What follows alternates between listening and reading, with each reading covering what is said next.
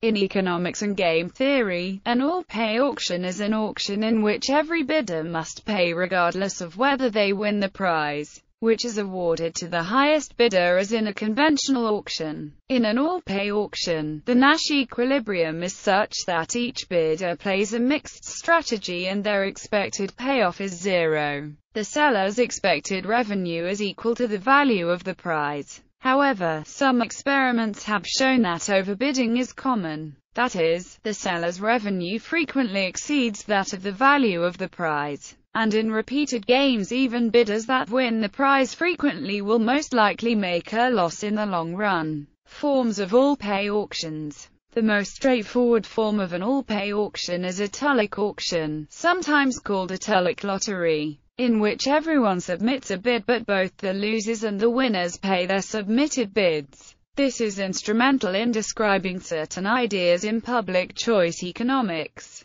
The dollar auction is a two-player Tullock auction, or a multiplayer game in which only the two highest bidders pay their bids. A conventional lottery or raffle can also be seen as a related process, since all ticket holders have paid, but only one gets the prize. Commonplace practical examples of all-pay auctions can be found on several penny auction, bidding fee auction websites. Other forms of all-pay auctions exist, such as a war of attrition, in which the highest bidder wins, but all bidders pay only the lower bid. The war of attrition is used by biologists to model conventional contests, or agonistic interactions resolved without recourse to physical aggression.